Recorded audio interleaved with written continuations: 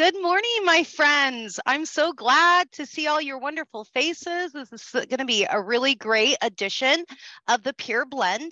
Um, we are really, really blessed to have Josh Smith with us from DCYF, um, Department of Children and Families. Sir, no, I, I know what this is. I know what you do, but I don't think I have the acronym. Yes, we're Department of Children, Youth, and Family, and, and I'm a part of the juvenile rehabilitation sector.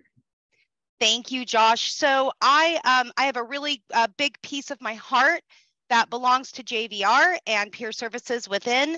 And I'm really, really grateful and glad that Josh is here to see us today and talk to us a little bit about his amazing efforts and DCYF's amazing efforts with peer support um, and juvenile rehabilitation. So um, without further ado, put your hands together and welcome Josh. Thanks, Josh. Let's go. All right. Thank you for that beautiful introduction. I come to you from Eastern Washington. I'm on the road as a part of what I do. So um, I'll get into my introduction and then we'll kind of get into the work a little bit. So my name is Joshua Smith. Uh, as you heard before, I'm DCYF's peer support program specialist. And um, my position was actually uh, designed by the governor and his team, and they wanted to be sure that DCYF and our, our juvenile rehabilitation sector had individuals with lived experience, um, not only in the policy and the standards of practice, but but really in the the the workplace culture development, right? As we move forward in DCYF and, and juvenile rehabilitation, we want to find out uh, where we're missing the mark. We want to find out um, how do we get the data that really matters, right? Um, and, and what are we using as data? You know, when we're thinking about recidivism and things like that. So we we are working diligently, right, to build advisory boards. We're working diligently to have uh, peer bridgers come into our system and really, really determine best practices, best policies, and ways to navigate this system as peers, right? And and how can we bring peerness into juvenile rehabilitation? So that's my my position. It was um I kind of brag about the governor part because it's kind of dope, right? Um, our our state really wants peer support in our systems, right?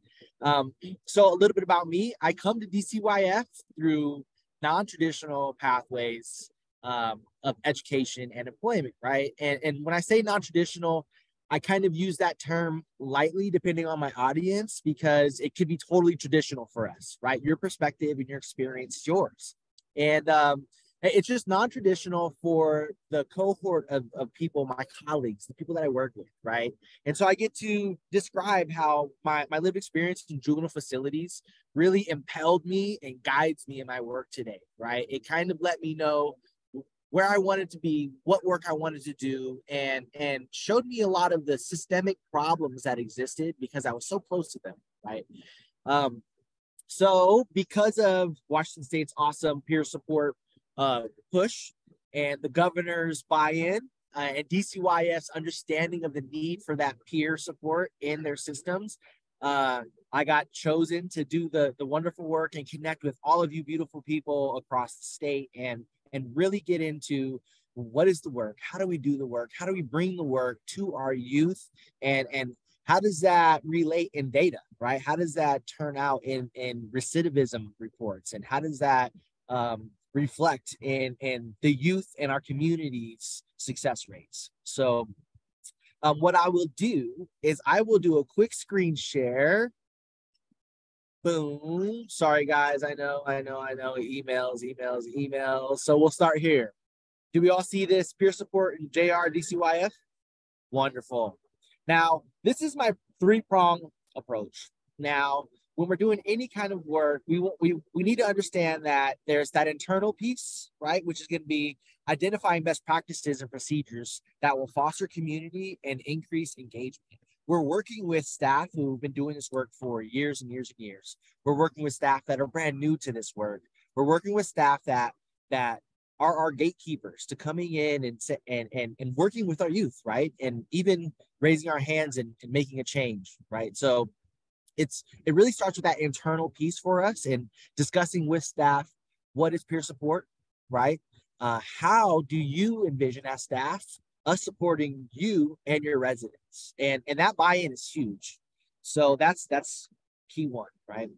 Um, second piece is the peer bridgers. We have peer bridgers who are coming into our facilities and connecting with our youth at least 90 days pre-release and staying connected 120 days post-release.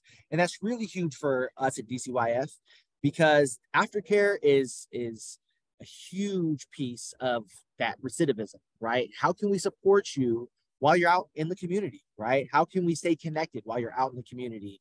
And and just me being frank, as an individual from juvenile justice settings, the day they let me out was the day I stopped talking to them. The day they let me out was the day I stopped reaching back. And um and I never got to really dive into the resources that were available to me.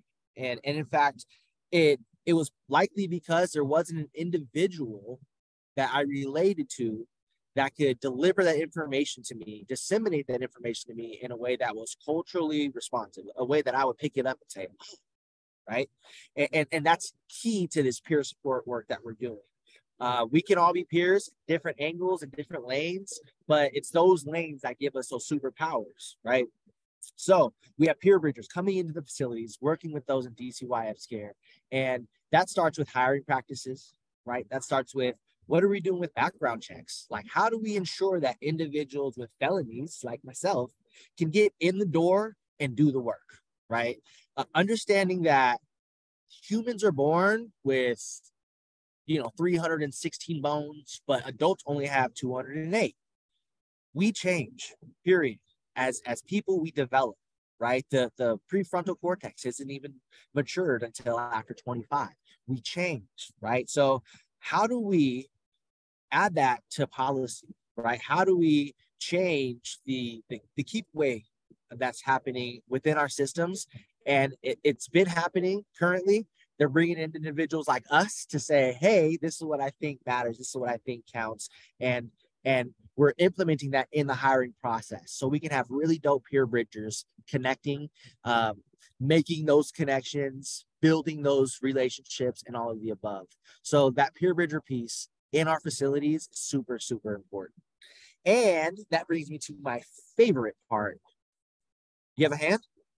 I have a hand up. I have a question um more of an embedded question um i'm not sure that everybody here will entirely know what a peer bridger is josh do you Ooh. think that you could let people know what how peer bridgers what they do and how they work specifically with jvr i love it i love it okay so peer bridger um peer navigator, um, peer support specialist, right? These are all terms that that are generally used for very similar positions, right? Now, in particular, our peer bridgers are bridging our youth to the resources, right? So if your agency delivers uh, DBT, right, dialectic therapy, whatever, right? our goal isn't to deliver that DBT skills ourselves, but to connect you guys to that, right? Our goal is not to give you the uh, uh, financial training, but to connect you to the proper people. Our goal is to not necessarily give you the housing resources, but connect you to that professional and say, this is Tim. This was why it worked so well for me. And I'll help you through that process, or we'll work together through that process. I hate the word help, right?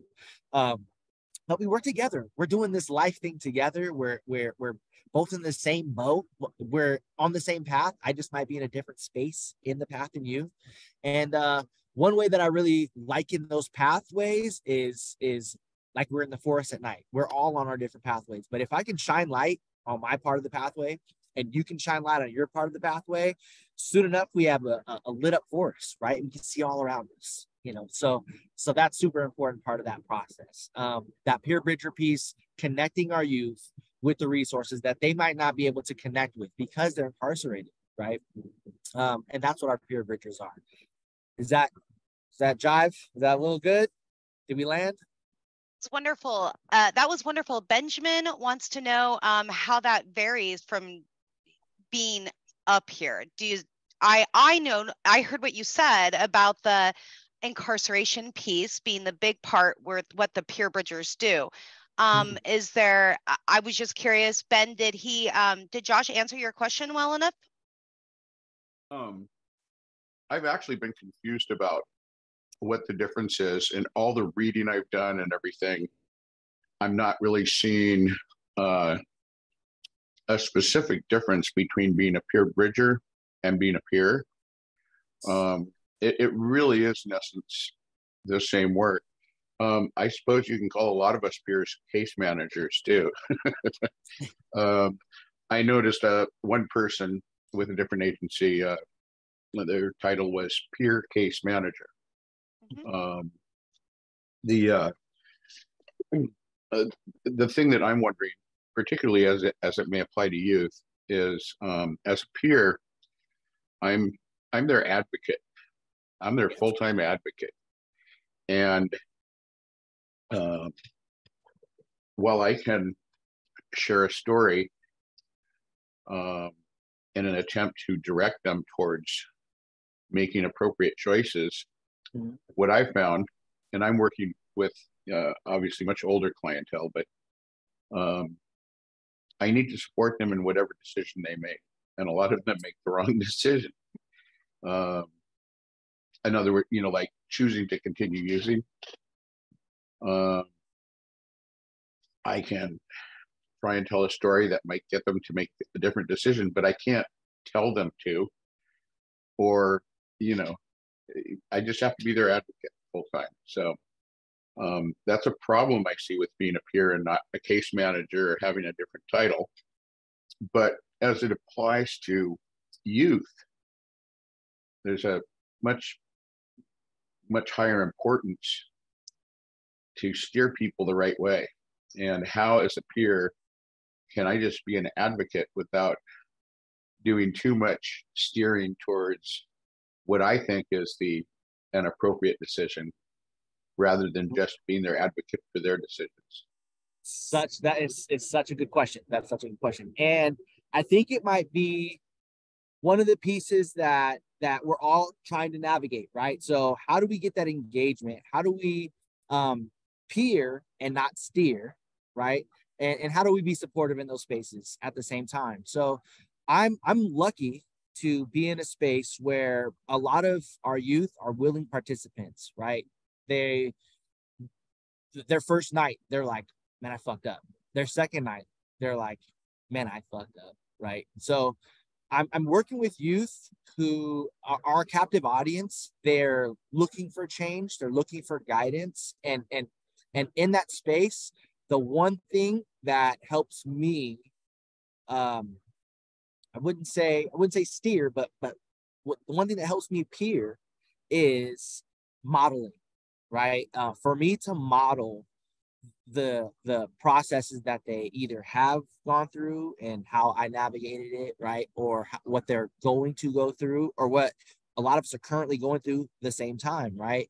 Now, I have limited experience because of my lived experience, if that makes sense, right? So, as far as education, housing, employment, there are some things that when my you or, or when my peer that I'm connecting with has a need, a goal, a misunderstanding, I willingly and and uh, eagerly dive into it in the boat with them. Like, man, let's figure this out together. And here, I'll sign up first to see what happens. And um, you know, when I signed up, uh, question three was really weird. What what what did you uh, respond to? And things like that. So, I think if you could, if you could think about how you can model that behavior that you're looking to get and get engagement and curiosity built around that i think those are the the key pieces to my uh, engagement right and we all have our different approaches um, we all have different energy levels personalities and ways that we connect um, but but yeah that is a really really good question because we're all trying to figure that out and with every peer that you work with it'll be a little different right but um i would just say if you could try and model that behavior, even if you've gotten your license before, say, what's it look like now? Let's pull it up on your phone. It looks different on my phone. And I clicked yes. Did you click? Okay, cool, cool. All right. So just um, kind of getting in the boat with them has, has been my has helped me in my success rate. Did that was that helpful at all? I felt helped, Josh. I don't know if it counts. beautiful, beautiful. Right? Wasn't that great? Um, so, oh, Yes, Shelly, if you need more information about the peer role moving forward, the Operationalizing Peer Support webinar is October 18th and it's exactly about this topic. So um, if you do need some um, assistance with that, you can email myself or Shelly Shore um, and we will put the email invite or we will email you an invite directly to it so that you have it. Um, so uh, by the end of this, I will make sure that you have everybody's email address on this call. Um, and so the only other thing I saw in there um, was uh, a question from George, but I feel like maybe, um, I, I guess, Josh, you could probably answer this. Can I go to juvenile hall to establish contact with clients who would need my assistance once they're released? I think that's what the peer bridgers do, right? Yes. So we're we're contract actually. I hate to say we're contracted. I oversee the contract for an agency that provides the peer bridgers, right? Now, currently we're in a pilot state status where we're serving King, Snohomish, and Pierce counties with a peer bridger. So that means our, our peer bridgers go into facilities and connect and say, who's from King, who's from Pierce, and who's from Snohomish? Everybody gather around. And we start to connect them to resources and connections into their in their communities, right? Uh, and sometimes because of our robust system, there's youth that don't eat anything, but they're just they have gang affiliation. They're going back in the community, right? But they have behavioral health meetings set up. They have their uh, inpatient, outpatient. They have everything aligned. But in order to get that engagement back into the community, there's there's just something missing. So we've connected our youth with um, the Mayweather Boxing Academy, right? So they have something to focus on between the hours of 4:30 and 6:30 and can really have a community come around them. And because I'm a peer with the gang affiliation, I know under the, the, the impact of having that community and why I reached out to the power groups or to the gangs, right? Uh, because it was that community, guys that would champion me for my achievements, right? And and that's what we want to provide. We want to provide non-traditional. Uh, we want to provide innovative approaches to community engagement, behavioral health, and mental health needs, and, and a lot of times with physical health or health. So, uh, Patty Joe, I see your hand. Hi, thanks, Joshua. So I really appreciate you um, sharing all this information and um, big shout out to all your efforts and great that this is a pilot. It brings me to a couple of things. And um, the thing that I notice is that we're really doing a lot of peer um, development in, in different programs, and different styles. But when you look at where the age groups are for the peers that are coming through the certified peer process, we're not really seeing a lot of folks that are really at the teenage levels pre 18, right? Where I think yes. that that would be a real benefit. And so we're in a rural county down here in Grays Harbor County and then Pierce County, and I mean Pacific County. And um, you know, there's not like traditional gang affiliations like you're talking about. However, mm. there is that um, social behavior that mm-hmm. is here. And yeah. so it's different though. And there's a real need for that type of support because we know that there's a real gap for those folks that are about age 15 to up to age 24, like you were saying, you know. And um, I'm just curious in your pilot, have you did you discuss before you launched the pilot um, some of those those needs to to you know because I do see the real difference in all the different peer level um, titles, and your peer bridger is a is a perfect title. I think I think it really helps because you're really shepherding that person through the system. You know, you're holding their hand because you know basically at that age group, you know, before where we are today, in what you would used to be called a normal family, your parent or your older sibling would be that person shepherding you through, right? So most of these people are coming out and they don't have that in their family. And so the family is still broken too. Mm-hmm. So there's so many different levels. Yes, absolutely, absolutely. And uh two things. A, the age range appears. Um, it's my understanding, now this could have changed or it could be the same, that to become a certified peer counselor, you have to be age 18, right? To take the state test, you have to be age 18.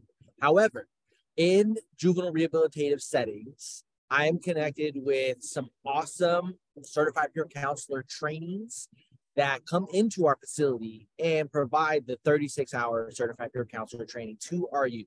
So currently, right now, we are churning out young, vibrant, certified peer counselors with lived experience and an understanding of the system, right? And are some of them are just waiting for the day that they can take that certified peer counselor, the, the state test, right? Now, um, the second thing about that is peer workforce development is super high on what on my to-do list. I got to think about what's going to happen in the next two years, three years, and 10 years. What are our hires going to look like? What are our hiring practices going to look like, right? Who are we bringing in to do the work? And just in this short time, I've only been in this position about six months, killing it, right? But in this short time, I've realized the power of proper peer pairing, right? And a lot of us might go, what's that mean? Right. But to understand how traditional peering works, right? I might connect really, really well with uh, Benjamin, right? I might connect really, really well with um, just historically, who, who do you remember connecting with when you were a team? Um, and using that those data points as ways to move forward, right? And I say that to say um, there's also inappropriate peer pairing, right? And we can say our training is there, we can say our skills are there, but when you put individuals with uh, behavioral health needs, right? Um, mental health needs, uh, who are currently ex- going through the process of juvenile rehabilitation, right? We want to protect them. We want to uh, we want to guide them the best possible and and for instance, peering a, a young 15 year old vulnerable female with, uh, you know, the only peer in the state, myself, we could, I could go into these rooms and I could peer, I could peer, I could peer. But because of all the behavioral health needs that we both have, knowing that Amanda Polly might be a better fit might be a better fit to peer with that youth is it's just data. It's stuff that we need to know as far as moving this work forward. And it's definitely a cringe point like ooh, because i understand. I can peer young women. I could i could peer young men. I know women can peer uh, young men. But because of the the what's the word i'm looking for because of the settings that we're in yeah because there's just so many restraints because of because being a minor and an adult yes and, and yeah, that's absolutely. that's really that's really what i was getting at is that um there's such a need for those peers to have another minor be their peer and and it's interesting because i've brought this up at a couple of meetings and with some you know um leaders mm-hmm. from from our school, you know, from our OSPI, you know, and it's interesting the responses that I would get because, you know, you got all these different agent state agencies, and I came from Department of Health. I worked there for a really long time, and now I'm in a mental behavioral health um, facility, that, you know, clinic that I work for, and um, but that the school OSPI level agency had a different perception of what say DOH, Healthcare Authority, and folks had, right? And yeah. and I think there's a real disconnect there because that is still today a current challenge to overcome because we with the, the response that I would get is they're not mature enough to be able to guide one another when I think that is a complete mm. false statement or fact. Yes. It's not factual in my opinion. You know, I, I feel I, that I absolutely agree with you. Um, because I, they're not too young to lead them to gangbang. They're right. not too young to lead them to. You, you, I, I, I want to just preface what you're saying with this quick story. The first person to ever tell me to say, say yes, ma'am, and open the door and uh, get people's buy-in in the community, and, and that means saying good morning, Gene, and, and how you doing, Jim, and uh, mowing lawns every chance I get was the person who jumped me into my game, right? So that person understood the power of community. They understood the, the power of uh, interpersonal connections, right? And uh, they didn't understand leadership, right? They wanted to lead, right? But they didn't understand leadership. And I think that's what our certified peer counselor trainings and all the other trainings that we have in our systems, they really uh, provide is that understanding of the power of your position in in life, or your your peer position, right? How you can get someone to say, "Yo, this is really cool. Let's try this out." You can, the, in the same breath, do it to something positive and uplift and and create positive traction in your community, and that was something that that has stuck in that stuck with me uh, really close since I've gotten my certified peer counselor training. Is, is there's power in that, you know? So, and I went way off track. I'm sorry but yes, okay. workforce development. But you're getting you're getting to what I was asking for, so that's good. You're it's in it's in your your your lens. It's not in the the specific scope of the pilot that you're doing. Um, another thing that I was thinking of is um, your way of delivering this message is very relatable and very youth relatable. I believe I appreciate that, and and it reminds me of many years ago, and when I was still a parent and my kids were still in school, the Elma High School did a um, program through Oprah Winfrey of all things, and it was something about like the angels or something. I can't remember. It was this big production where they came to the school for two days, and we were just in the gymnasium and big areas, and there was only like a hundred students for those two days, and and as parents were really um, we were drilled with questions before we could um, volunteer, right? And it was a complete safe zone, and we were paired up with youth and then the youth talked with one another and we were just as a parent we were just there to guide them to make sure that they didn't um, give each other the wrong type of guidance right? You know because there's you still need that at that different level like you're saying. And i feel like what you're saying and how you're presenting it it would be really cool if you could just like do like a road trip you know and just like do some touring and coming to the different counties and sharing the story and your experiences this way because i feel that the more that we're sharing it, then we're actually breaking down the stigma because in rural communities, it is status quo. You don't talk, you don't share. If your youth is having difficulties, you just don't announce it. Yeah. And you don't come out. And that is another level that's just a real challenge still.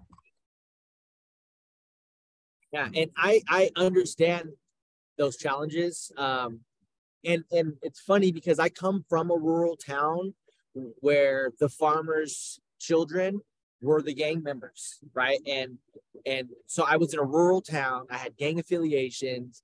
I had to get rides everywhere because there was no bus system, things like that. So it was uh it was interesting, but it was my experience, you know. Uh it might not be everyone's experience, but but to bring those skills and that understanding with me into these spaces, right? And into these different towns and to go on tours and say, this is why it's important to not only myself, but for the community, for us to have these conversations, right? Because it's happening in our rural towns.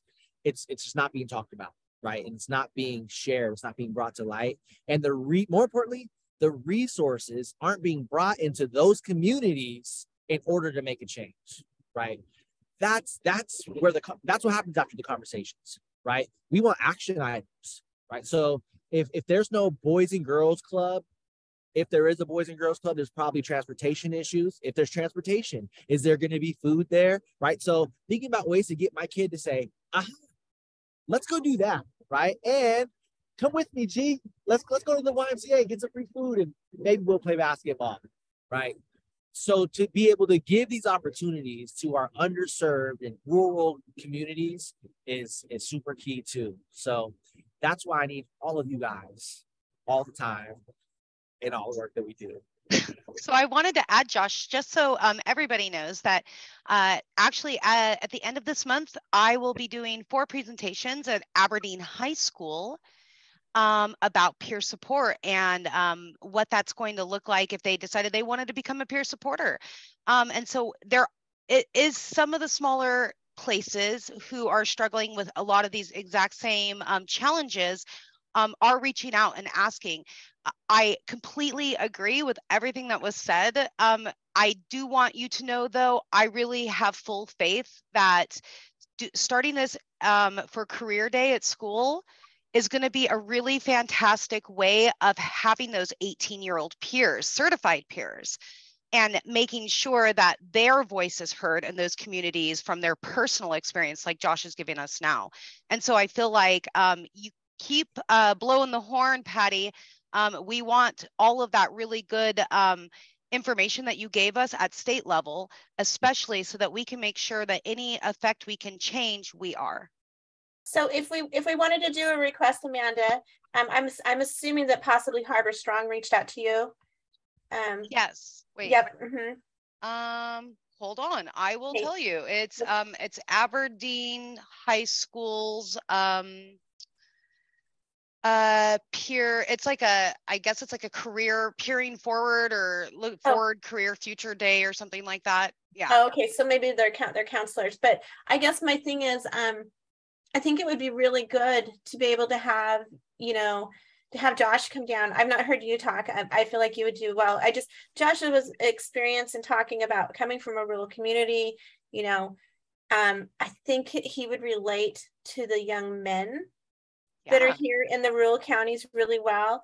And um, because he's, you know, I don't know, Josh, if you're from Grays Harbor County or Pacific County, but because you're not necessarily, um, uh, you know, maybe you are, I don't know, but if you, either way, you're welcome to come because you're will, you're willing to share your story and you're not, you know, there's no shame, you know, you walk with pride and that's what something is needed in these rural communities because we still have that shaming from my Mhm. own generation of you know you just can't talk about it amongst the adults you know Yeah. although we all Yeah. know whose youth have had issues and troubles we just don't talk about it because then you're just you know whatever but um i think it would be really cool so i will um I, if we wanted to do a request for y'all could we do that just send it to either one of you or something Absolutely. I will um leave you guys with my contact information so Uh-huh. you guys can reach out, you guys we can connect, we can do all the things and uh just make sure that we uplift what we're doing in in our state and in our communities, right? would there be a fee no fees? I'm pulling up. Yeah, right, we we don't charge for awesomeness. Yeah.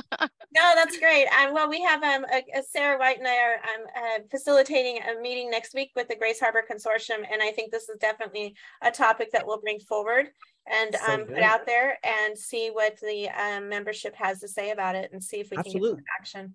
I'm on board. I'm on board. This is what we do, right? And uh, my my email tagline is now go back and find all the little U's that you can, or whatever it says. But but yes, that's what we do. Is is we look at that next generation. We look at the workforce development piece and how the people behind me are going to come in and, and make that change. So Yeah, absolutely, let's It's, it. it's like the only way to break the generational cycle, and then to get rid of the the burden of so of the adult world. I mean, there's just not enough support services. It's because we're flooding them. We have to stop the flood. We got to build a little bit of a dam, I guess. Slow Yeah. it down and educate. They're Slow it down and educate. Yeah, I love there's- that you said that. they're still gonna they're still gonna experiment and make mistakes because we're human beings. But if we can slow it down a little bit, I think it'll be great. Absolutely, absolutely. So good. Yes, I can see we have a lot to to go over in our next meeting. We're gonna have, Patty Joe. How fun.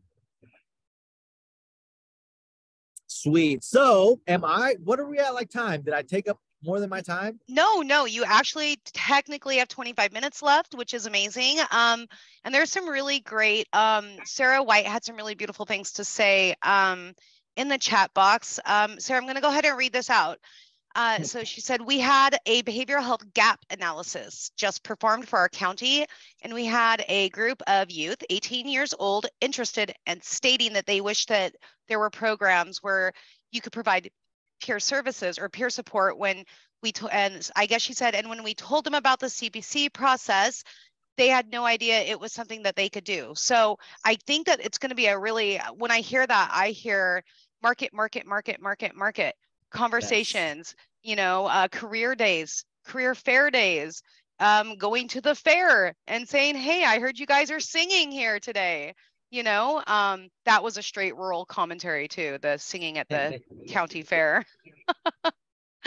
um, but yeah, uh, so the CPC role is not talked much about in rural communities, and I completely agree. Um, I started out as a CPC in Wenatchee. So, um, and this is where I was licensed. This is where I did all of my direct service experience. And though it's large, Chelan Douglas County is ginormous and very spread out. And so I, um, I can relate a lot to that. Uh, it's, um, people are like, what's a peer? Yeah, it- yeah. Yeah. My, my first move, that my first big check that I that I spent at DCYF was for a commercial. I said, we need a commercial, guys. And The commercial turned out wonderful, but the idea for me, uh, because of you know, I started out as like a rapper, and then I did a, a, record company, and then I did all the other things where I had to understand what networking was like, and and like how to naturally grow something, right? And that was before things were going viral. I'm I'm almost forty, so you know, the internet thing wasn't my friend. So um, I I say that to say, um,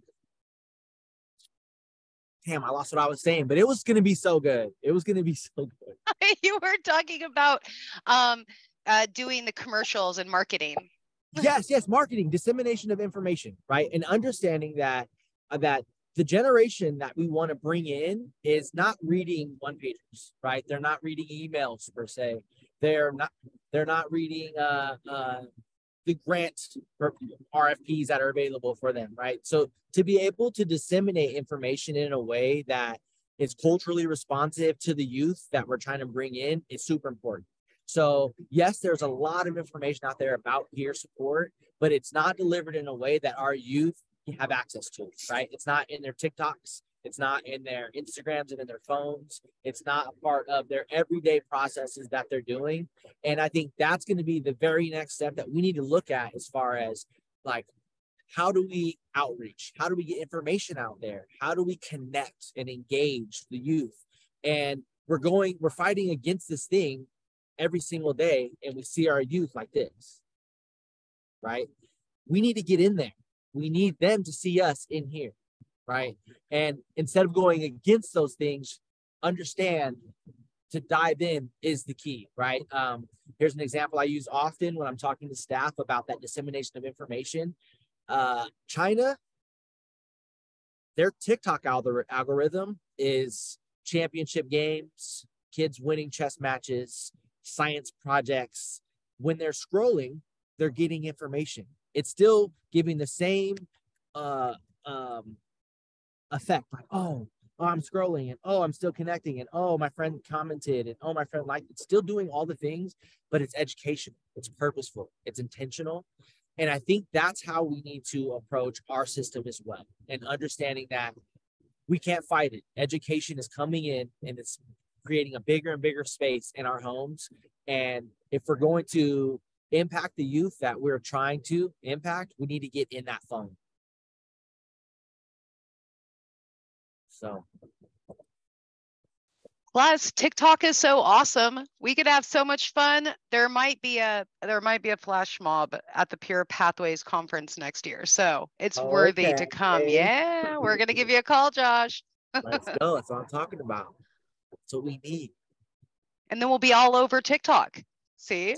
Right? and My then plan. like, oh my gosh, peer support is the biggest rave, and we want to do it through this. yes, exactly. Sweet. So I wanted to kind of give you guys this quick breakdown of, of our peer bridger support services, peer-to-peer connection. So it's super simple. Our staff identify and enroll their their candidates, right? Um, I got a bunch of stuff all over my screen, so I'm trying to see through it at the same time. And there we are. Um, we focus on instrumental, emotional, informational, and affiliational connections, right? These are things that that we really want to focus on. Uh, I have here our pilot program of serving youth and young adults re-entering into Snohomish, King, and Pierce counties, just so we get a visual of okay, that's where the peer bridging pilot program is happening. Um, and then, so boom, we do an orientation enrollment to break down what peer bridger services is, what to expect, and then sign the dotted line so we can do the work. Step three is going to be we, we connect the youth with the peer bridger themselves. So the peer bridger comes and says, Hi, I'm Jimmy. And some of my lived experience is similar to, or however Jimmy's approach is to making that connection, right? And then um, there's that engaging in peer support piece. So it's a quick process. This is something that I needed to create so my staff understood like what is peer bridging what's the flow chart to it and things like that and uh and just generally helping them understand the process to that. And uh, peer support referral process, boom, easy. Yeah. So we kind of went through the things. And uh, of course, we killed it per usual. On the side of the road, So are I, there any I love that you did this on the side of the road. In fact, I think right. I know exactly where you're at, which is kind of um, disconcerting. So please be careful. yes, yes, very careful as always. I'm headed to a, uh, a, a a training and presentation in one's in Yakima and one's in Kennewick. And then I'll be headed back to Olympia area. But yeah, just spreading the word, um, making sure they see my peer shirt, P for peer. but uh, yeah, getting that buy-in, getting that buy-in, getting that understanding. I see a hand raise. Let's go, Peter. Hi, uh, thanks for the talk. Very, very informative. Um, I'm curious how long this pilot program is is geared to be, um, because I can see this kind of thing working. You know, if it works in in the juvenile detention space, I can imagine it would also work in um, in, in the hospital setting and in inpatient services where people are a lot of the time going back to particularly state hospitals to, uh, you know, keep, you know, it's the same idea, right? You're in yes. this kind of facility, right? So uh, I'm wondering what, what, how long we have to wait until we can see if this is really working. Oh my gosh. Listen, this could be such a good part. My brain's exploding. I love that you said that because peer bridging in juvenile facilities is actually modeled from that same space that you're talking about. Right. So, so peer bridgers started working like in Western State Hospital and yeah. in Eastern State Hospital, and I don't know all the history about it, but that's definitely where it started. So your your head is in the exact right space, right? And and how can we bring peer bridgers everywhere in all of our institutions? There's data behind it. There's um, there's trainers that can come in and train your staff, and there's funding for it, right? There's an understanding for the need for peer bridgers in all of our behavioral health, mental health spaces. Um, so yeah, you are you're dead on with that. And um, just to answer the question, our pilot program is a 12 month program. They're going to serve the all the youth that they have uh, that they can in that time. We're going to turn in our data and say this is you know this is the data, and hopefully that data can reflect in the recidivism rate numbers. Right. That's that's where we want to see our work is in the recidivism rates, right? Yeah. If the youth that we connected with had less recidivism, and that's when we know we've been successful. Um, so 12 month pilot pro, uh, for the peer bridger. Now, I'd like to also preface that by saying I'm also going around to all of our agencies and our and building partnerships and building relationships to see what other peer support programs are available that aren't in those pilot areas? Because we have youth releasing to all those areas right? A lot of resource deserts. And then what can we do in those resource deserts like say with the mayweather boxing academy to get their buy-in to a work with our youth but b maybe look at some behavioral health trainings and see how you can infuse the two knowing that you are the go-to place in your area right? And how could you have peers that are also boxing coaches, right? So getting getting those conversations to happen in places that are resource deserts is is like my favorite part. So to to add to that too, um, it's a really great opportunity for things like 4-H to happen.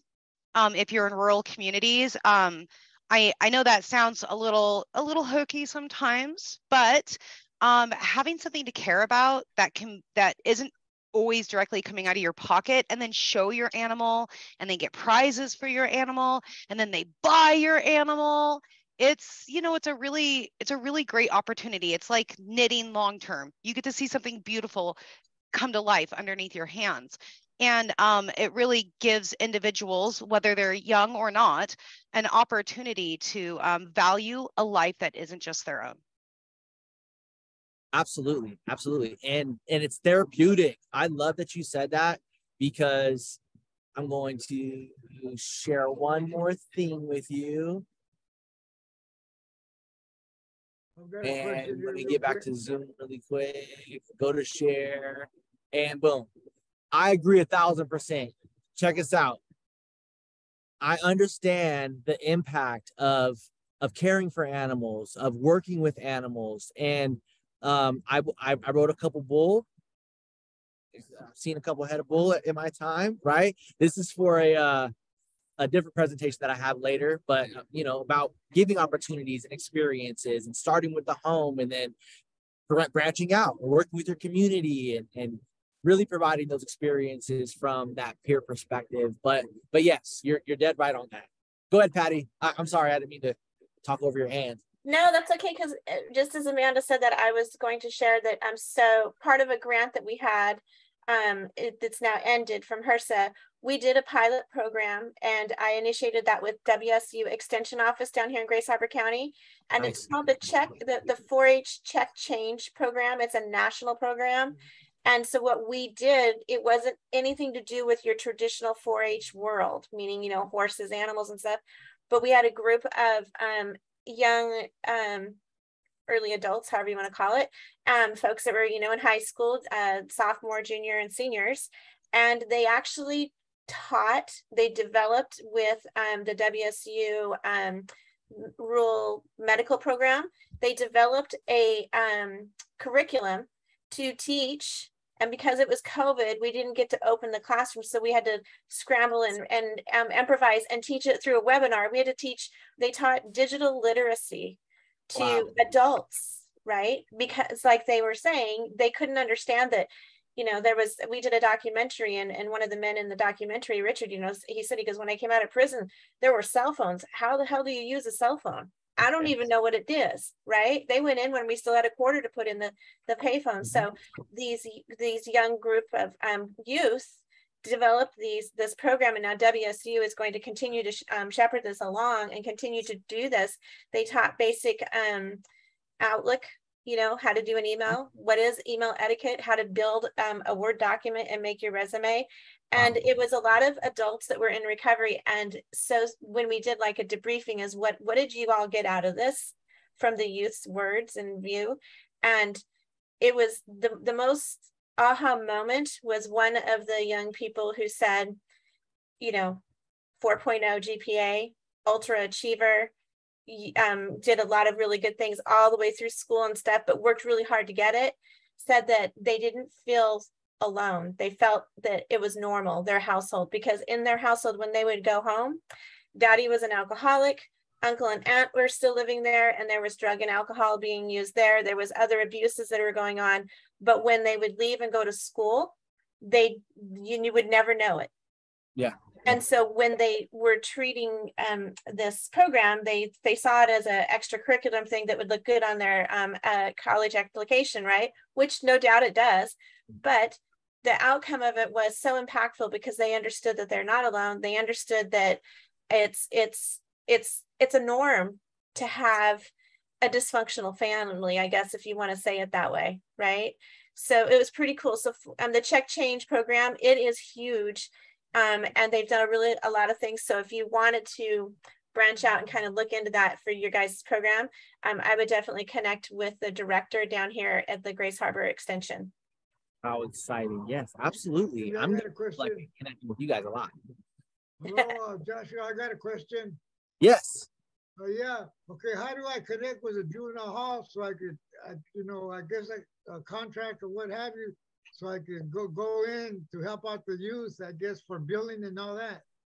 So that is my job is to go out into our community and find the partners, find the peer programs, find the peer support, find where you serve because uh, where are you located? I'm in Mount Vernon, Washington. Okay, perfect. So that's where we would want to connect you to our youth, either in the facilities up near you or releasing into your community, right? We want our youth to have peer support everywhere. And it takes individuals like yourself um, contracting with us to make it happen. So I, I I'm putting my email in the chat. Um, please, everyone, email me if you would like to talk about next steps in working with juvenile rehabilitation um, or DCYF. But um, my realm is peer support in juvenile rehabilitation. If you want to talk about something other than that, I can totally shuffle you to the right people. But but that's my job is to bring in the dope stuff. So absolutely, George, please. Yeah, I'd like to get that started here in Mount Vernon. Thank you. Beautiful. So joshua.smith at dcyf.wa.gov. Okay, I just wanted to make sure that was right before I send it out.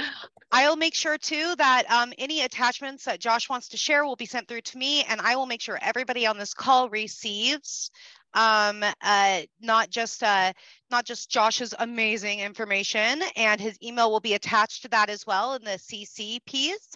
But um, we'll also be um, adding in the link, um, asking for some feedback if you have it, and um, making sure that uh, you have um, you have our emails as well. So if you need yes. to get a hold of us for anything, and if um, you really want to do that community connecting, let's get her done. I'm so excited. How exciting. We did that, guys. I think uh yeah, I think we killed that that hour, knocked it out.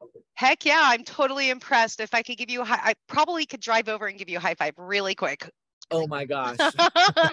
um, if you come back through Wenatchee, you have to let me know, Josh. We can have a cup of coffee. Um, Absolutely. All right, y'all. Uh, thank you so much, so, so, so much, Josh, for um, coming and spending your time here with us, giving us all of this wonderful information and sharing your talent um, and your passion with our peer blend.